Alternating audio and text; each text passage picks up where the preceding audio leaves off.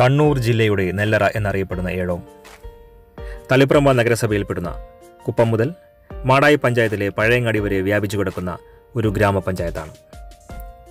ധാരാളം വയലുകളും കുന്നുകളും അരുവികളും നിറഞ്ഞ അതിമനോഹരമായ ഒരു പ്രദേശമാണിത്. നെൽകൃഷിക്കും മത്സ്യകൃഷിക്കും പ്രസിദ്ധമാണ് ഏഴോം. ഏഴോം എന്ന പേരിന് പിന്നിലുള്ള ഐതിഹ്യങ്ങളിൽ ഒന്ന് ഏഴ് അമ്പലങ്ങളിൽ ഓം എന്നെഴുതിയ നാടാണ് എന്ന് ചില ചരിത്രകാരന്മാർ രേഖപ്പെടുത്തുന്നു. എന്നാൽ അതല്ല ധാരാളം വയലുകൾ നിറഞ്ഞ പ്രദേശമായതുകൊണ്ടാണ് ഈ പേര് ലഭിച്ചത് എന്ന് മറ്റു ചിലർ അഭിപ്രായപ്പെടുന്നു. ആദ്യകാല കാർഷിക സമരങ്ങളിൽ ഇടം പിടിച്ച ഒരു പ്രദേശം കൂടിയാണ് ഇത്. ഇന്ത്യയിലെ ആദ്യത്തെ സമ്പൂർണ സാക്ഷരത കൈവരിച്ച ഗ്രാമപഞ്ചായത്താണ് ഏഴോ. ആയിരത്തി തൊള്ളായിരത്തി എൺപത്തിനാല് മുതൽ കാൻഫെട്ടും ഇവിടുത്തെ ജനങ്ങളും ഒരുമിച്ച് നടത്തിയ പരിശ്രമത്തിന്റെ ഫലമായാണ് ഈ നേട്ടം കൈവരിച്ചത്.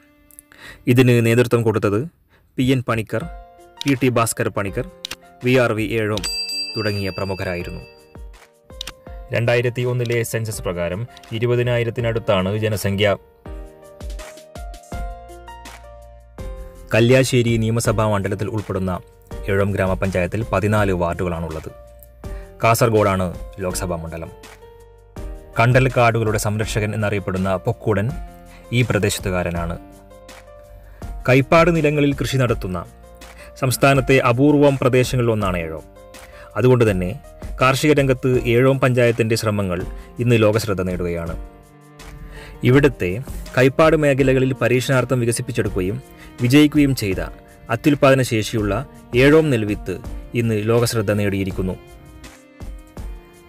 കടലിനോടോ പുഴയോടോ ചേർന്ന് കാണപ്പെടുന്ന ഉപ്പുവെള്ളം കയറുന്ന ചതുപ്പ് നിലങ്ങളാണ് കൈപ്പാട് നിലങ്ങൾ.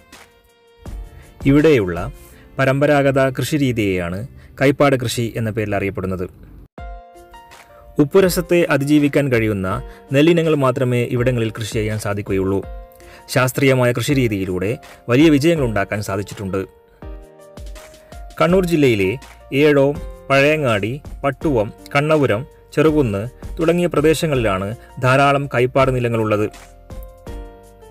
കുതിര് ഓർക്കൈമ എന്നീ വിത്തിനങ്ങളാണ് പരമ്പരാഗതമായി ഇവിടങ്ങളിൽ കൃഷി ചെയ്തിരുന്നത്. ഇവയുടെ ഉൽപാദനശേഷി വളരെ കുറവായിരുന്നു. അതുകൊണ്ട് തന്നെ അത്യുൽപാദനശേഷിയുള്ള പുതിയ ഇനം വിത്തുകൾ കണ്ടെത്തേണ്ടതായി വന്നു.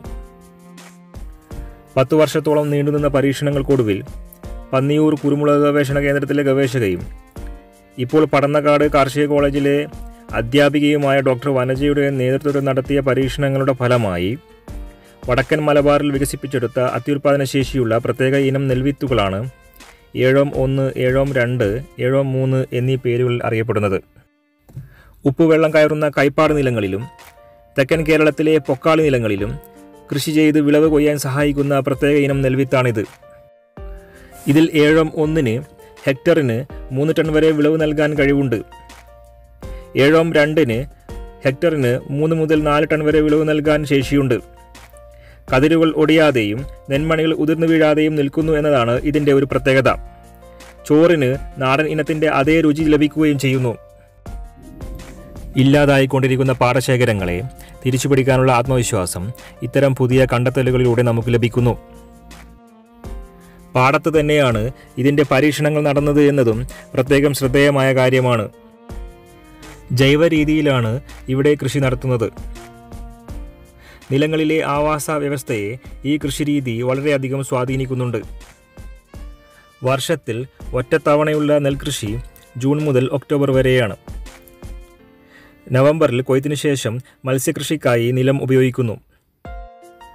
മത്സ്യങ്ങളെ വിളവെടുത്ത ശേഷം വീണ്ടും നെൽകൃഷി ചെയ്യുക എന്നതാണ് ഇവിടുത്തെ രീതി. കൈപ്പാട് അരി എന്നറിയപ്പെടുന്ന ഇത് ഭൂമിശാസ്ത്ര പ്രത്യേകതയുള്ള ഉൽപ്പന്നങ്ങളുടെ ഗുണമേന്മയുടെ അടിസ്ഥാനത്തിലുള്ള ഭൗമശാസ്ത്ര സൂചികയിൽ ഇടം നേടിയിട്ടുണ്ട്. നാഗ്പൂർ ഓറഞ്ച് വർളി ആദിവാസി കലോൽപ്പന്നങ്ങൾ ധർമ്മവാരം സാരികൾ എന്നിവയ്ക്കൊപ്പമാണ് മലബാറിന്റെ ഈ അരിയും സ്ഥാനം പിടിച്ചിട്ടുള്ളത്. പാലക്കാടൻ മട്ട പൊക്കാളി നെല്ല് ജീരകശാല ഗന്ധകശാല എന്നീ ഇനങ്ങളും കേരളത്തിൽ നിന്ന് ഭൗമശാസ്ത്ര സൂചികയിൽ ഇടം നേടിയിട്ടുണ്ട്. ഏഴോം ഒന്ന് ഏഴോം രണ്ട് എന്നീ നെൽവിത്തിനങ്ങളെക്കുറിച്ച് ഇന്റർനാഷണൽ സയൻസ് മാസികകളായ കറണ്ട് സയൻസ് നാച്ചുറലും ബ്രസീലിയൻ ശാസ്ത്രമാസികയായ ആറോസ് ബ്രസീലിയറോയിലും പ്രത്യേകം ലേഖനങ്ങൾ പ്രസിദ്ധീകരിച്ചിട്ടുണ്ട്. ഏഴോ മൂന്ന് എന്ന പേരിൽ ഏറ്റവും പുതിയ അത്യുൽപാദന ശേഷിയുള്ള നെൽവിത്ത് ഇപ്പോൾ വികസിപ്പിച്ചുകൊണ്ടിരിക്കുകയാണ്.